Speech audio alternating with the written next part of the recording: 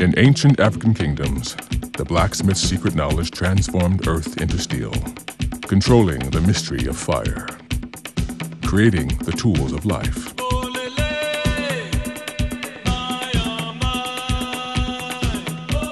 Voodoo, ancient source of the creative spirit.